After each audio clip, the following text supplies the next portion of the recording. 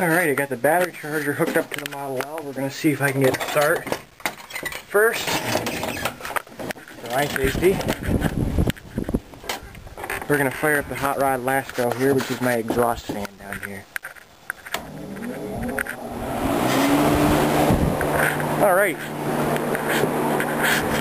I've already turned the gas on the Model L, so let's go down and see what we can do. I'm really not quite sure what's going to happen. But, had the battery charger on for a couple minutes. Gas is on.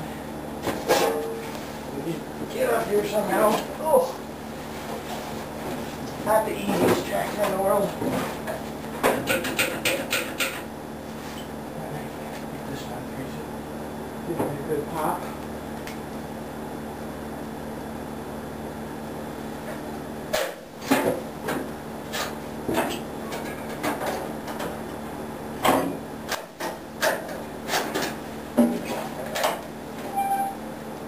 Well, folks,